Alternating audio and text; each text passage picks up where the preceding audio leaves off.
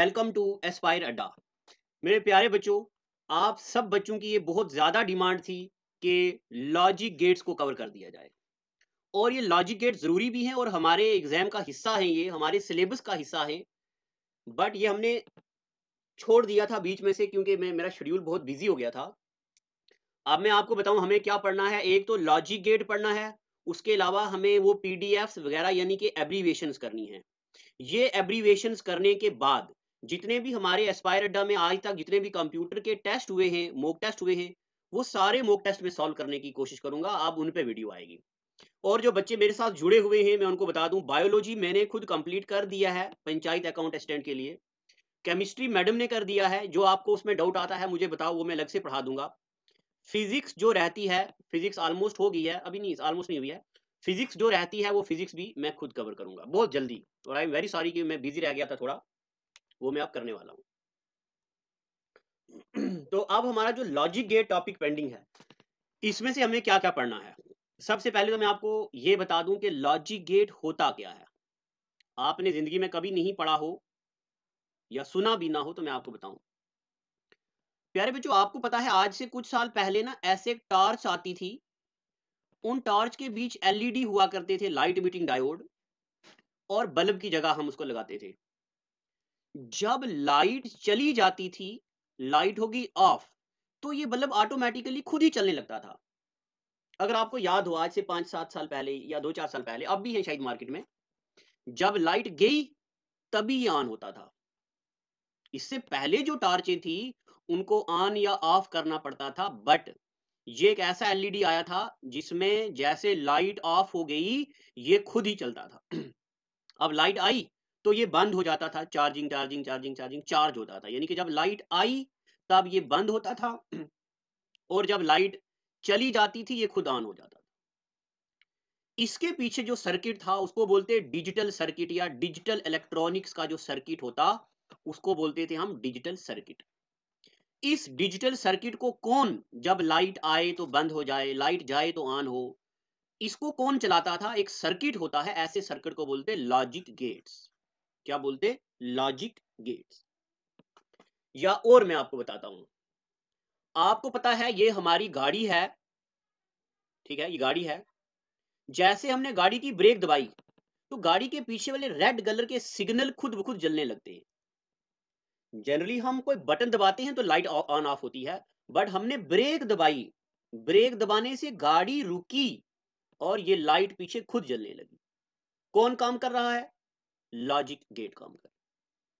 आपने देखा होगा, वेव माल के अंदर वो एलिवेटर होती है जो जो एस्केलेटर जिसको बोलते हैं सॉरी एस्केलेटर वो जो लिफ्ट होती है सीढ़ियों वाली, अगर उसमें पंद्रह बीस मिनट तक यहाँ पे कोई बंदा ना आए तो वो रुक जाती है।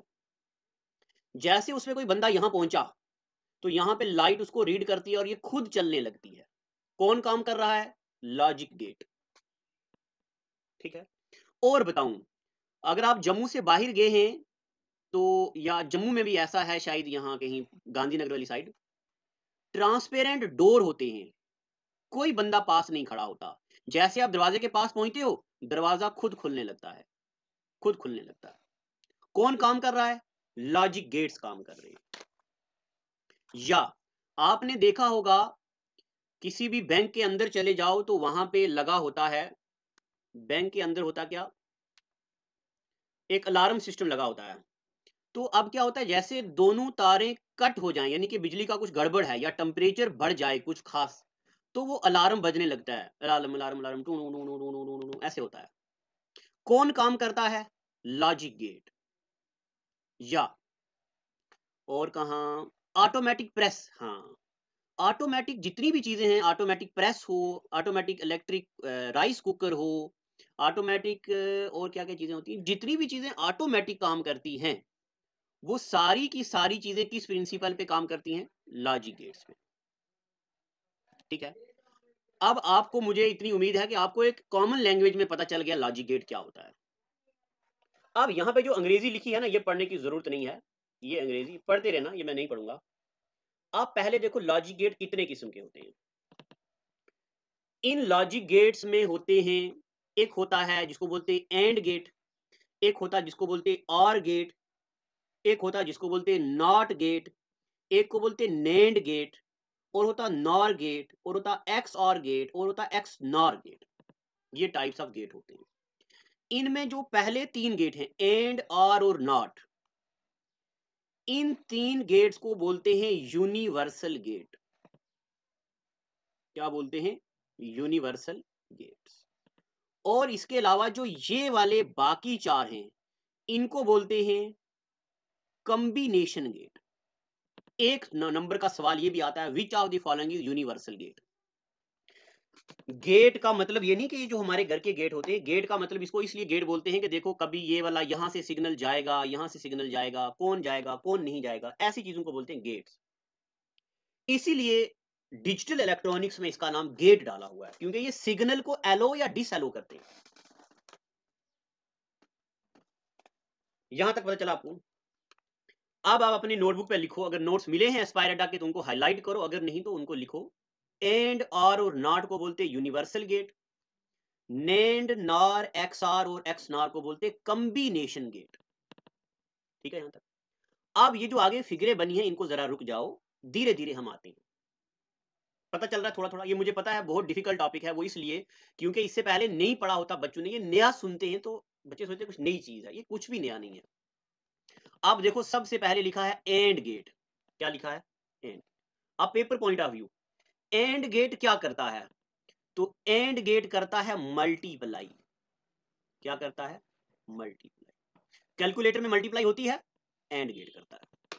पेपर में पूछते हैं which of the following type of gate gives multiplication as a result या which of the following type of gate is use to multiply the number तो कौन सा गेट है? एंड। ठीक है, यहाँ तक। अब एंड गेट की शक्ल कैसे होती है, ये देखो। एक इनपुट ए है, एक इनपुट ये है, यानी कि मान लो हमें करना है टू इंटू थ्री मल्टीप्लाई तो ये होगा ना सिक्स ये है एक वैल्यू ये है दूसरी वैल्यू ये गेट का रिप्रेजेंटेशन है और ये आउटपुट है। यानी कि ये दोनों चीज़ें क्या हैं? ये दोनों चीज़ें हैं इनपुट और ये वाई क्या है? ये है आउटपुट ठीक है? तो y equal to A into B या y equal to A dot B ये डॉट का मतलब है, ये कौन सा गेट है? ये एंड गेट है। अब जरा मुझे बताओ, y equal to A dot B which of the following type of gate is use कौन सा गेट यूज़ हुआ? एंड गेट यूज़ कौन सा गेट यूज़ हुआ? एंड गेट यूज़ हुआ।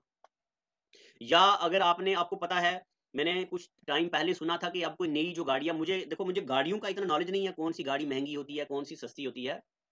क्योंकि मैं एक एवरेज क्लास फैमिली या मिडिल क्लास फैमिली से बिलोंग करता हूँ तो मुझे गाड़ियों का पता नहीं है। बट मैंने ऐसा सुना है कि जो बहुत बड़ी बड़ी महँगी गाड़ी होती है ना मर्सिडीज या ऐसी पता नहीं कौन सी गाड़ियाँ, वो गाड़ियाँ अपना गेयर जो होता है, वो खुद भी बदल सकती हैं। गाड़ियाँ खुद अपना गेयर बदलती हैं। तो वो गेयर अगर गाड़ी बदलती है तो वो गेट्स की यूज़ पे बदलती है। गाड़ी को पता चल जाता है, भाई, यहाँ पे ये फ़ंक्शन है तो खुद काम करती है। जहाँ पे भी चीज़ खुद काम करती है, वहाँ पे गेट्स यूज़ होते हैं। अब एंड गेट के बारे में मैंने आपको बताया, क्या याद रखना है? जो जो बातें मैं बोल रहा हूँ, वही याद करनी है, क्योंकि हमें एग्जामिनेशन पॉइंट ऑफ़ व्यू से पढ़ना है। एंड गेट का मतलब होता है मल्टीप्लाई करना।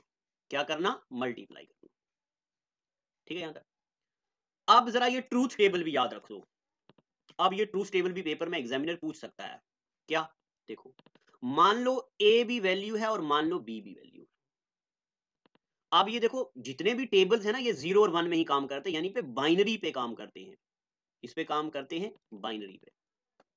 मान लो ए की ये है ए ये है बी यानी कि ये दोनों चीज़ें इनपुट हैं और ये वाली चीज़ आउटपुट है।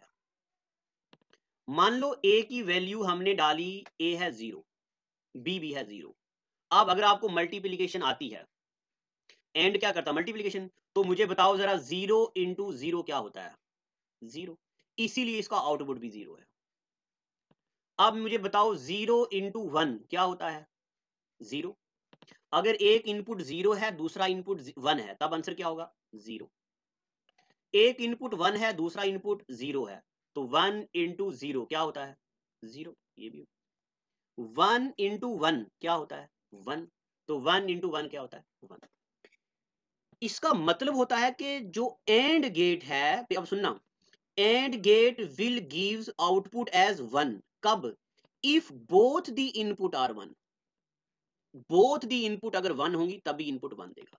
और वन को लॉजिक टर्म में बोलते हैं हाई और ज़ीरो को लॉजिक टर्म में बोलते हैं लो या वन को बोलते हैं ऑन और ज़ीरो को बोलते हैं ऑफ़ अब जरा एक बार मैं आपको ऊपर से पढ़ के बताता हूँ। देखो। पहले मैंने नहीं पढ़ा ना, अब पढ़ता हूँ। Output is high when all inputs are high. When two inputs are combined with and, it is logical conjunction. यानी के यानी के अब ये पढ़ने की ज़रूरत नहीं बट मैं ऐसे बता देता हूँ। यानी कि एक एंड गेट ये वाला है, ठीक है? एक एंड गेट ये वाला है। दोनों का, इसका भी आउटपुट y है, इसका आउटपुट y डैश है। इसका आउटपुट और इसका आउटपुट अब हमने फिर से जोड़ा एंड गेट पे। इसको बोलते हैं लॉजिकल कंजंक्शन देखो, ये इसका, इन दोनों को जोड़ के नया एंड गेट बनाया ठीक है? अभी आपको क्या बातें याद रखनी है? लॉजिक गेट्स डिजिटल इलेक्ट्रॉनिक्स का बड़ा मेजर रोल पार्ट प्ले करते हैं। लॉजिक गेट में हमने पढ़ा AND OR NOT NAND NOR XOR और एक्स नार तीन होते जिसको बोलते universal gate and gate or gate not gate सबसे पहले हमने पढ़ा एंड गेट क्या पढ़ा? इसमें एमसीक्यू भी कराऊँगा, जरा गौर से पढ़ना। एंड गेट एंड क्या करता? मल्टीप्लाई क्या करता? मल्टीप्लाई और मल्टीप्लाई में आपको पता है, जब दोनों वन हो, तभी वन होता है। अगर एक भी ज़ीरो हो जाए तो आंसर ज़ीरो होता है। ठीक है? तो एंड गेट का ट्रूथ टेबल मैंने आपको बता दिया, ये ज़ीरो ज़ीरो वन और कब एंड गेट में वन कब होता है? अगर दोनों वन हो। दोनों वन हो तो वन होता है। अदरवाइज़ ये क्या होता है? ज़ीरो एंड गेट पर दिया। अब चलते दूसरे नंबर पे। यानी कि अब मैं आपको बता रहा हूँ और गेट क्या होता है? और गेट सबसे पहले ये बात याद रखो कि और गेट करता है एडिशन क्या करता है एडिशन कैलकुलेटर में एडिशन होती कि नहीं होती? एडिशन कौन करता? और गेट करता है। अब देखो, ये तो आप सबको पता है, मान लो एक इनपुट ए है, एक इनपुट बी है। दोनों ज़ीरो है। ज़ीरो प्लस ज़ीरो क्या होगा ज़ीरो ज़ीरो प्लस वन क्या आंसर आएगा वन वन प्लस ज़ीरो क्या आंसर आएगा वन वन प्लस वन ये जरा आपको दिक्कत कर रहा होगा। ये वन प्लस वन जो होता है, वन प्लस वन तो टू होता है बट आप लिख रहे हो one plus one equal to one ई का नोटंकी है। ठीक है ना? अब जरा देखो, मैं बाइनरी ऐड कर रहा हूँ, वन प्लस वन। क्या होता है? मैं मैं दूसरा ऐड कर रहा हूँ, क्या है ये होता? टू। अब अगर आपने मेरे से बाइनरी सीखा है तो देखो जरा बाइनरी टू को कैसे रिप्रेजेंट करते हैं? ज़ीरो और वन। क्या करते हैं? ज़ीरो और वन। अब यहाँ पे हम वन लेते हैं। अब इस वन का मतलब ये नहीं है कि ये मैथ वाला वन है। इस वन का मतलब है ये हाई वैल्यू है। हाई का मतलब ये ऑन है। अगर कोई बल्ब है हमारे पास तो बल्ब की वैल्यू वन इसका मतलब बल्ब ऑन है, जल रहा है ग्लो कर रहा है। और बल्ब ज़ीरो है। इसका मतलब ऑफ़ है। अच्छा एक बात मुझे याद आ गई है। आपने देखा होगा शादी में जब म्यूज़िक बजता है तो स्पीकर के साथ छोटे छोटे एलईडीज लगे होते बल्ब लगे होते, लड़ियाँ। जितना जितना म्यूज़िक ऊँचा चलता है, उतनी उतनी ये लड़ियाँ भी ज़्यादा ग्लो करती हैं। या म्यूज़िक की धमक के साथ, गाना चल रहा धूम मचा ले, धूम मचा ले, धूम, गाना चल रहा धूम, ये बल्ब की लाइट भी धूम के मुताबिक चेंज होती है। ठीक है ना? तो बल्ब का ग्लो होना डिपेंड करता है म्यूज़िक पे।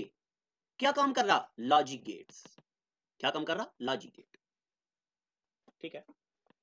तो अब ये वन प्लस वन टू नहीं आएगा, ये वन प्लस वन वन का मतलब है कि आउटपुट इज़ हाई, बल्ब जल रहा है। तो अब देखो जरा आर गेट क्या करता है? एड एडिशन में एक ज़ीरो हो, कोई फ़र्क नहीं पड़ता, कम से कम एक वन होना चाहिए। अब वन की मैं यहाँ पे बात कर रहा हूँ, कम से कम एक इनपुट हाई होना चाहिए। अब मुझे पहले डेफिनेशन सुनो।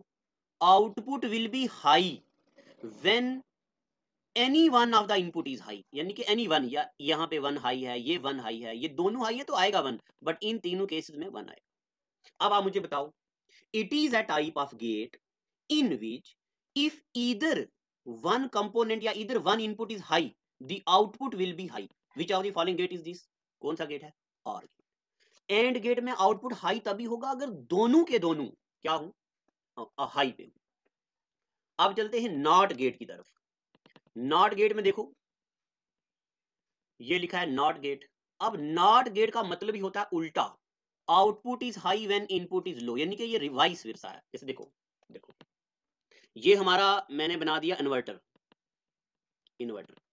ये इन्वर्टर की लाइट आ रही पीछे से। ये बिजली आ रही, लाइट। और ये लाइट आ रही हमारे आगे। आपको पता है जब लाइट है उस वक्त इन्वर्टर में charge store store store store store store होता है स्टोर होता है स्टोर होता है, हो रहा हो रहा हो रहा चार्ज अचानक से लाइट चली गई। जब लाइट चली गई, तब इन्वर्टर की लाइट ग्लो होने लगी। तो इन्वर्टर लाइट पता कब देगा? जब पीछे से मेन सप्लाई कट हो जाएगी। देखो उल्टा, ये कट हो जाएगी इन्वर्टर ग्लो करेगा। ये लाइट आएगी इन्वर्टर ग्लो होना बंद कर देगा। उल्टा है ना? Output is high when input is low. जब इनपुट लो हो गया, इनपुट ज़ीरो हो गया, तब आउटपुट हो गया वन, आ रही और जब इनपुट हो गया वन, यानी कि लाइट आ रही है, तब इन्वर्टर की आउटपुट होगी ज़ीरो। अब कौन सी बिजली देगी? बिजली आ रही है जो बिजली नॉर्मल बिजली है। इसलिए इसको देखो आगे पे ये बना होता है, ये ऐसा सिंबल है, ये एक ही इनपुट है। एंड में और आर में अभी हमने देखा दो इनपुट थे। इसमें देखो, इसमें एक इनपुट होता है, सिर्फ़ एक, वन। बिजली अच्छा अब आगे ये देखो ये उल्टा है। इसको मैं, इसको बुलिन में बबल बोलते हैं। जो हम लॉजिक गेट पढ़ रहे हैं, ये बुलिन अलजिब्रा का हिस्सा आता है, इसको बबल बोलते हैं। देखो, ये एक्स है और यहाँ पे वाई है, यानी कि ये उल्टा है। अगर लाइट नहीं है तो लाइट जलेगी, और अगर लाइट है तो लाइट बुझ जाएगी। अन, पीछे से मेन सप्लाई नहीं आ रही ज़ीरो मतलब नहीं आ रही इन्वर्टर की लाइट है। पीछे से मेन सप्लाई आ रही है इन्वर्टर की लाइट नहीं है। इसको बोलते हैं नॉट गेट तो अभी मैंने आपको तीन यूनिवर्सल गेट पढ़ाए हैं। एक हमने पढ़ा एंड गेट दूसरा हमने पढ़ा और गेट, तीसरा हमने पढ़ा नॉट गेट। एंड गेट क्या करता है? एंड गेट करता मल्टीप्लाई आपको याद रखना। और गेट करता एड नॉट गेट करता रिवर्स, उल्टा। एंड और आर गेट में दो इनपुट होती हैं और नॉट गेट में एक इनपुट होता है। ठीक है? यहाँ तक ये था जो आज के हमने तीन लॉजिक गेट पढ़े। कल मैं आपको पढ़ाऊँगा इसके आगे कॉम्बिनेशन गेट यानी कि कल हम पढ़ेंगे नैंड गेट और पढ़ेंगे हम नॉर गेट और हम पढ़ेंगे एक्स आर गेट और हम पढ़ेंगे एक्स नॉर गेट ये चार गेट पढ़ेंगे कल, और फिर गेट से हम पढ़ेंगे एमसीक्यू ठीक है? और फिर उसके बाद मैं आपको शॉर्ट फॉर्म कराऊँगा, और शॉर्ट फॉर्म के बाद हमारा सिलेबस 100 परसेंट हो गया कंप्लीट और उसके बाद मैं आपको एमसीक्यू कराने लग जाऊँगा। और फिजिक्स का लेक्चर मैं कंटिन्यू करूँगा। देखते रहिएगा सपोर्ट करिए शेयर करिए आप। जितनी शेयरिंग करेंगे उतना मुझे मोटिवेशन मिलती पढ़ाने के लिए। Thank you and God bless you follow us on Instagram Facebook and can subscribe our YouTube channel video की नोटिफिकेशन के लिए बेल आइकॉन को दबाएँ। अगर आप ये वीडियो फेसबुक पर देख रहे हैं तो लाइक ज़रूर करें और ज़्यादा से ज़्यादा शेयर करें।